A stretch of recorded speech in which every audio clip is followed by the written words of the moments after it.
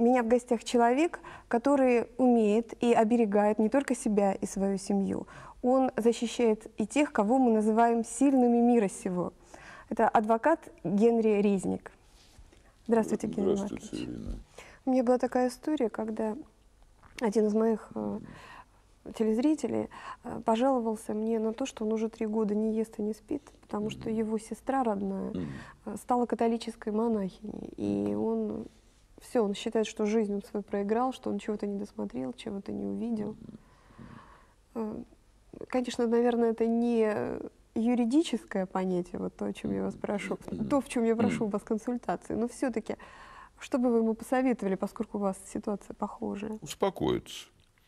Э, Его сестра приняла решение, будучи взрослым человеком.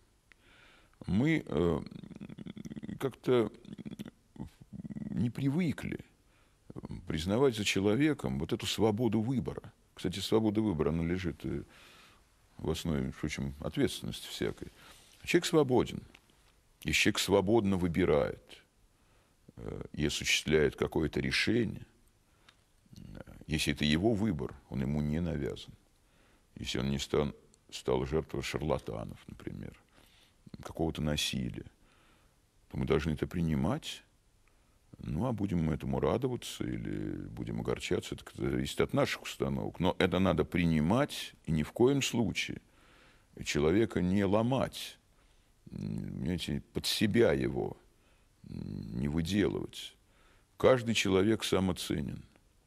Поэтому если он любит сестру и видит, что она счастлива, то он просто должен за нее радоваться.